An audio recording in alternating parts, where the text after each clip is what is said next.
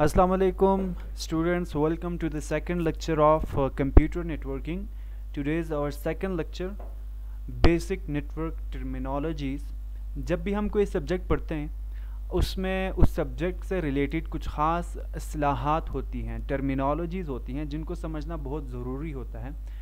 आज हम उन्हीं टर्मिनोलॉजीज़ के बारे में बात करेंगे।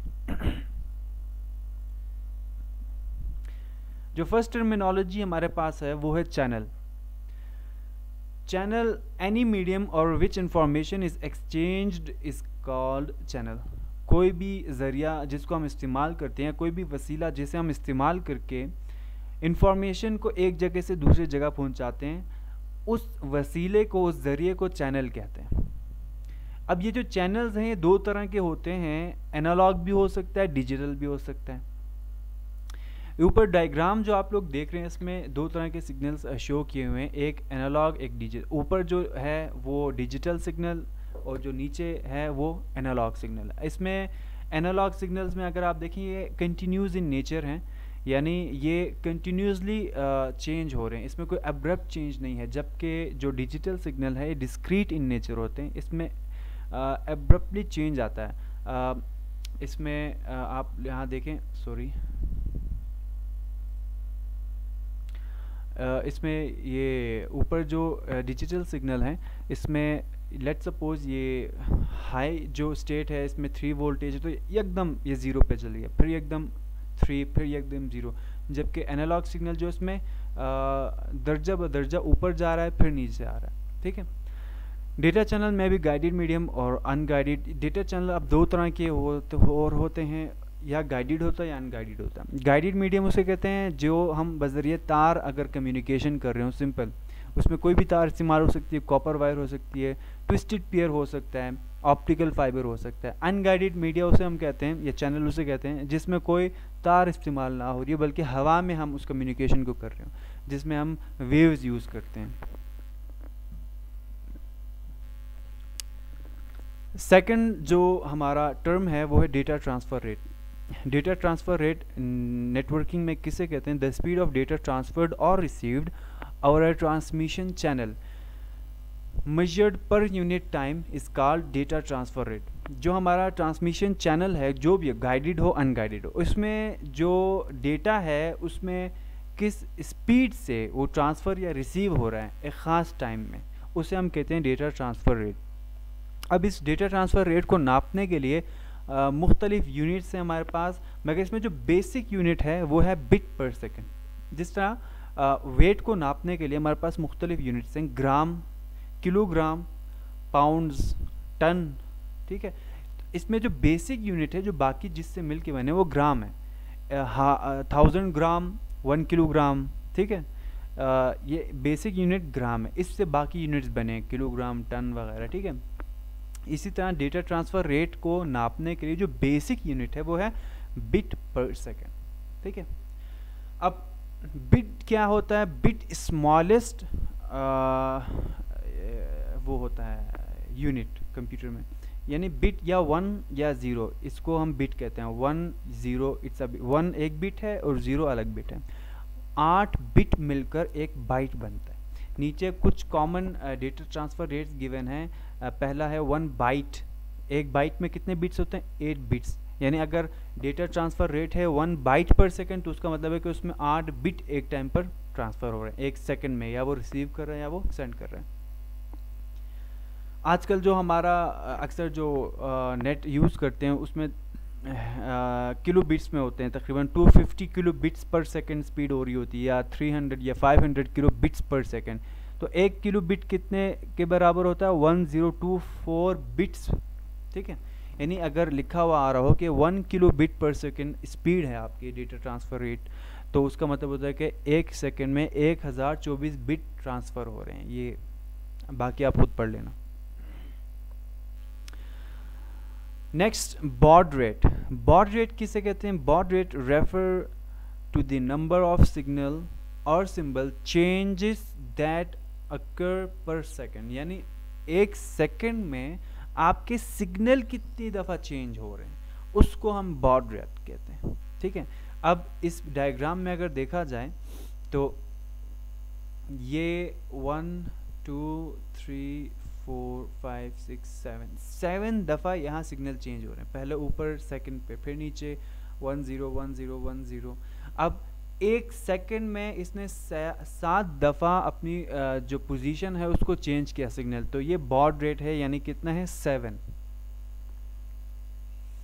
नेक्स्ट हमारे पास है bandwidth maximum rate of data transfer across a given path is in a given amount of time bandwidth simple इसको आप इस तरह समझ लें कि आप जो मीडियम यूज़ कर रहे हैं लेट सपोज़ आप एक तार इस्तेमाल कर रहे हैं, ठीक है कम्युनिकेशन के लिए।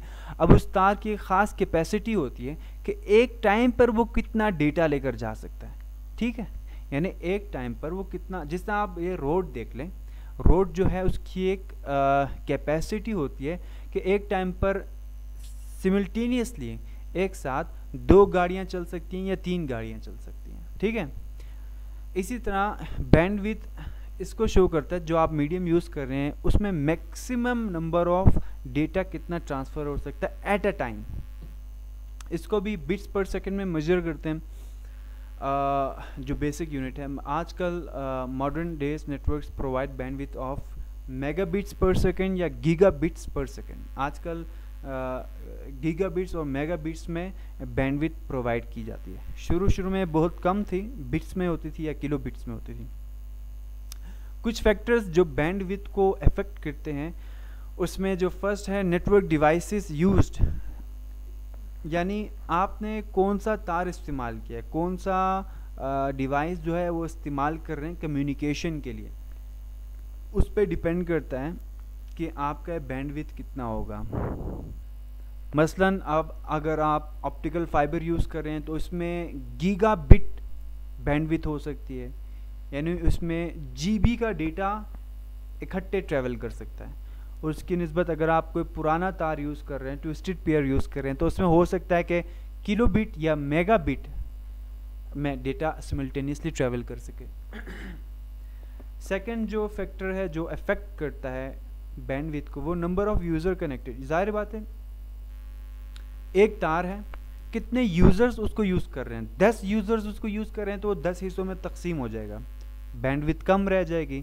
अगर एक ही यूज़र उसको यूज़ कर रहा है तो फुली उसको यूटिलाइज करेगा उस बैंडविथ को। तो ये दो फैक्टर्स हैं जो इस बैंडविथ को इफ़ेक्ट करते हैं। Next protocol protocol is a set of rules and regulations used by devices to communicate over the network protocol क्या है? कुछ रूल्स और रेगुलेशंस का नाम है, जो कम्युनिकेशन के दौरान ज़रूरत पड़ती है। सिंपल जिस तरह हम डेली लाइफ में कम्युनिकेट कर रहे होते हैं आपस में तो इसमें कुछ रूल्स और रेगुलेशंस होते हैं। मैं क्या अल्फाज बोल रहा हूँ? किसी रूल के तहत मैं कुछ बोल रहा हूँ ना? अपनी मर्ज़ी से थोड़ी बोल रहा हूँ। अगर मैं कोई कुछ भी बोलना शुरू कर दूँ जिस तरह चाइनीज़ हमें समझ नहीं आती उस तरह के कोई भी अल्फाज मिला दूँ तो आप लोगों को समझ नहीं आएँगे क्योंकि मैं रूल से हट गया ठीक है? इसी तरह जब डिवाइसेस आपस में कम्युनिकेट कर रहे होते हैं तो उसमें कुछ रूल्स होते हैं उनको फॉलो करना होता है तब वो कम्युनिकेट कम्युनिकेशन सक्सेसफुल कहलाती है। uh, कुछ रूल्स यहाँ गिवन है कि किस तरह के रूल्स होते हैं। पहला है what type of data may be transmitted यानी कि किस तरह का डेटा ट्रांसमिट कर रहे हैं? जो दो डिवाइसेस है, इसमें एक रूल है। ऑडियो होगा वीडियो होगा इमेज होगा टेक्स्ट होगा। मिसाल के तौर पर टेलीफोन लाइन है। इसमें एक प्रोटोकॉल है कि भाई इसमें सिर्फ़ और सिर्फ़ ऑडियो जो है, वो ट्रांसफ़र होगा। इसमें कोई इमेज नहीं आएगा। ठीक है? इसमें कोई टेक्स्ट नहीं आएगा। तो what type of data number second है what commands are use to send and receive data यानी डेटा को सेंड या रिसीव करने के लिए कौन से कमांड होंगे? मुझे कैसे पता चलेगा कि ये कमांड दूँगा तो मतलब इसका मतलब ये है कि डेटा सेंड हो रहा है। ठीक है? ये कमांड होगा तो उसका मतलब कि मैंने डेटा रिसीव करना है। Third how data transfer are confirm यानी कि डेटा आप तक पहुँच गया या इन्फॉर्मेशन जो आप तक पहुँच गया, मुझे कैसे पता चलेगा? कन्फर्म कैसे होगा मुझे? उसके लिए कोई रूल होना चाहिए। इसके अलावा और बहुत ज़्यादा है। इंशाल्लाह हम फ्यूचर में पढ़ेंगे। कुछ प्रोटोकॉल्स जो इंटरनेट पे यूज़ होते हैं डिवाइस कम्युनिकेशन में जो बहुत ही आम हैं, वो इसमें S M T P simple mail transfer protocol यानी जो हम मेलिंग कर रहे होते हैं, उसमें ये प्रोटोकॉल यूज़ हो रहा था। इसकी मदद से ये कम्युनिकेशन सक्सेसफुल होता है। ठीक है? Transmission control protocol internet protocols server client. A server is a computer program or device that provides a service to another computer. Server क्या है? कोई सॉफ्टवेयर भी हो सकता है या कोई हार्डवेयर जो कि दूसरे कंप्यूटर को कोई सर्विस प्रोवाइड कर रहा है। तो उसको हम सर्वर कहते हैं। क्लाइंट क्या है? A client is a piece of computer or hardware or software that access that accesses a services made available by a server. यानी सर्वर जो प्रोग्राम, सॉफ्टवेयर या जो हार्डवेयर या कोई भी सर्विस जो प्रोवाइड कर रहा है, उसको जो भी ले रहा हो उस सर्विस को, उस सर्विस से जो भी फ़ायदा उठा रहा हो, उसको हम क्लाइंट कहते हैं। ठीक है? जैसा कि आप इस पिक्चर में देख सकते हैं, यहाँ दो तरह के सर्वर क्लाइंट रिलेशनशिप दिखाए हुए हैं। फ़र्स्ट वन ये। इसमें ये सर्वर है और ये तीन कनेक्टेड इसके साथ डिवाइसेस हैं।